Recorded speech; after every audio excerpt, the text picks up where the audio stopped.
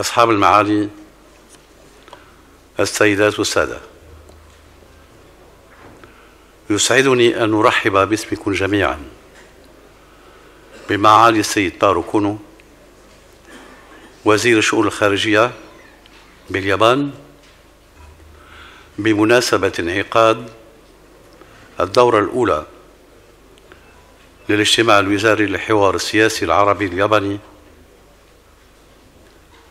التي نعتبرها خطوة نوعية هامة لترقية العلاقات العربية اليابانية تعكس الإرادة المشتركة التي تحوضنا من أجل ترسيخ التعاون القائم بيننا منذ توقيع مذكر تعاون بين جامعة الدول العربية والحكومة اليابانية في سبتمبر 2013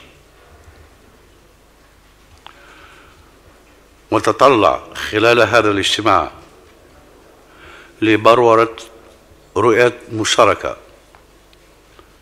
إزاء القضايا الإقليمية والدولية فضلا عن التطور علاقاتنا كدول عربية مع اليابان سواء في إطار جامعة الدول العربية أو على المستوى الثنائي. ومن هذا المنطلق سيداتي سادتي يسعدني أن أسجل بارتياح الاهتمام الذي يوليه اليابان للشراكة مع العالم العربي الذي يتطلع بدوره إلى الاستفادة من القدرات والطاقات الهائلة لاقتصاد اليابان وخبرته العالية من خلال استغلال الفرص الاستثمارية التي تتيحها اقتصادات الدول العربية ومرافقتها نحو العصرنة لا سيما بفضل التكوين بما يسمح بتثمين الطاقات الهائلة التي تتوفر عليها المنطقة العربية من موارد طبيعية وبشرية. كما أحيي التزام اليابان بتقديم مساعدات تبلغ قيمتها حوالي 6 مليار دولار أمريكي للعالم العربي بين عامي 2016 و 2018 أصحاب المعالي أصحاب المعالي والسعادة السيدات والسادة. إن الوضع المتزائم في بعض دول المنطقة العربية والذي يشغل دون شك العديد من الشركاء والأصدقاء يجعلنا نؤكد على ضرورة إرساء الحوار السياسي والتشاور المستمر. بين المجموعة العربية واليابان. إن استمرار معاناة الشعب الفلسطيني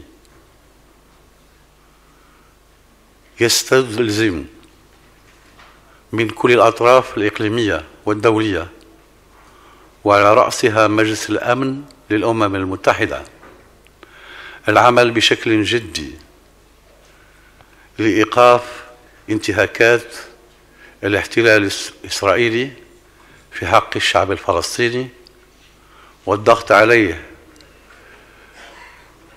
لحمله على الانسياق للشرعية الدولية وتطبيق قراراتها وتمكين الشعب الفلسطيني الشقيق بإقامة دولته المستقلة وعاصمتها القدس الشريف.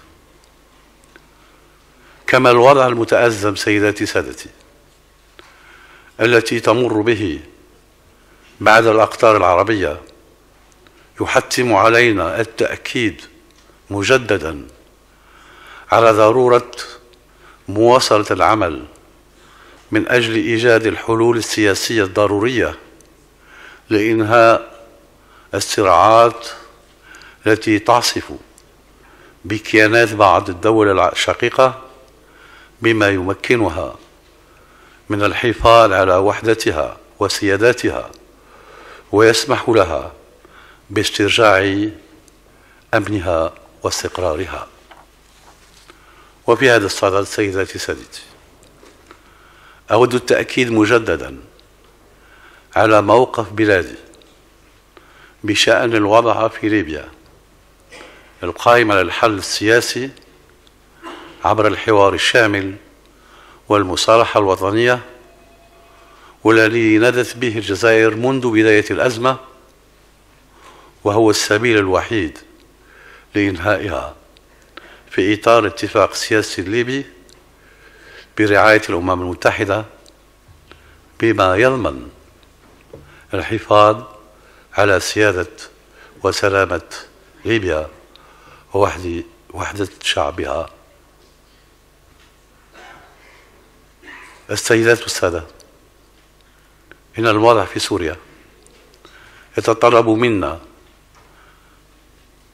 بدوره العمل معا من أجل إيقاف آلة الحرب والدمار التي تضرب هذا البلد الشقيق وذلك من خلال تكثيف الجهود لإيجاد حل سياسي سلمي ينهي هذه الأزمة ويحفظ وحدة سوريا وسلامة أراضيها.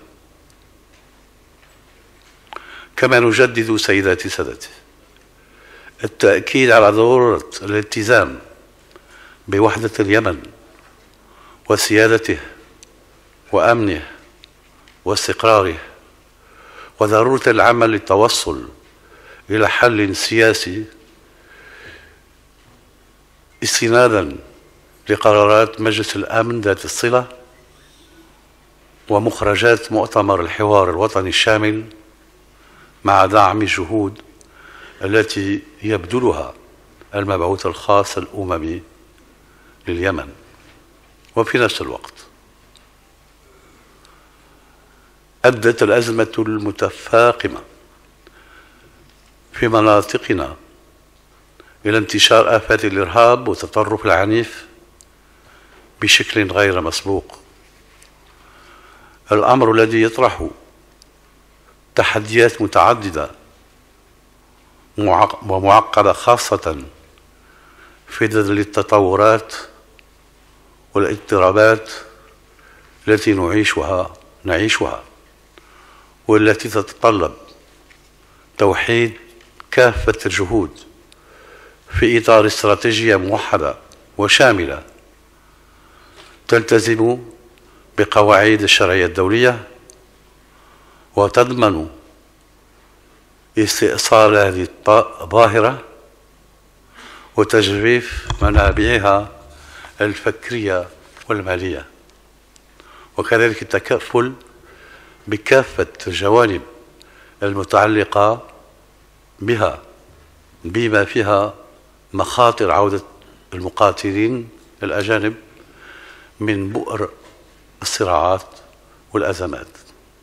وفي الأخير سيأتي سادتي أملنا أن يفتح هذا الاجتماع آفاقا جديدة في العلاقات بين المنطقة العربية واليابان وأن يساهم في تقريب وجهة النظر بشأن العديد من المشا... من المسائل أشكركم. والسلام عليكم.